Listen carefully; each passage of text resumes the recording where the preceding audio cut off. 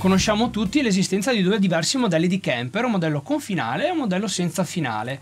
Il finale ci serve per poter collegare una cassa passiva. Senza finale non abbiamo nessun problema se possiamo permetterci di adoperare queste casse qui o comunque se ci interessa e se ci piace.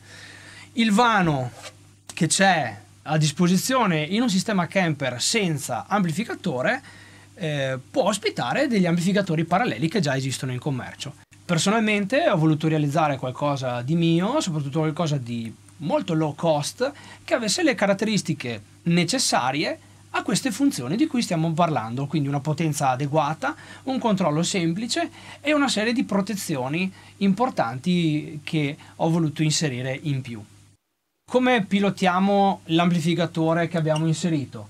Abbiamo il monitor volume e il monitor EQ con cui andiamo a variare il volume con cui ci sentiamo in palco o il tipo di suono, lo vogliamo con più bassi, con meno bassi, con più alti, eccetera. Abbiamo l'equalizzatore a disposizione.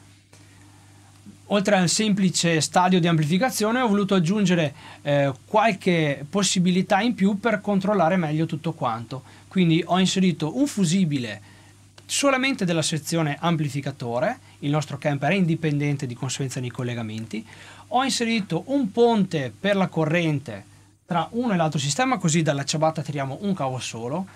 Ho voluto mettere l'ingresso dell'amplificatore e l'uscita monitor out sulla stessa linea per collegargli un cavo piccolino da poter poi gestire anche in trasporto lasciandolo collegato.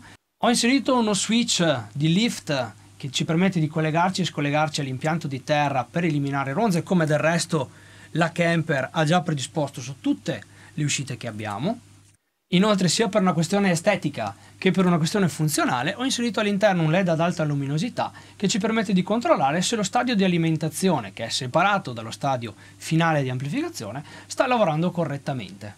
Ho scelto di fare l'amplificatore con un ingresso mono, appunto perché il monitor out è un'uscita mono, però con la possibilità di collegare due casse che non andranno in parallelo perché pilotate ciascuna da un finale indipendente, quindi abbiamo proprio 100 più 100 watt se non dovessimo collegare nessuna delle due casse o solo una delle due, il finale non ha nessun tipo di problema di carico.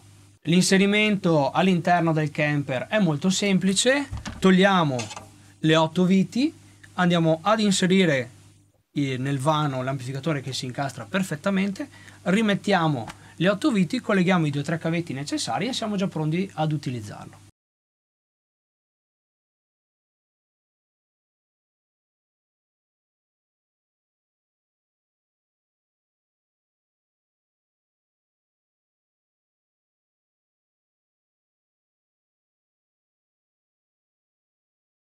Personalmente sto utilizzando questo sistema già da sei mesi in varie situazioni, in varie location. Ho avuto anche la fortuna di poterlo adoperare all'Alcatraz di Milano, dove la potenza, quindi 100 più 100 watt, in realtà io ne adopero solo 100, sono stati più che sufficienti.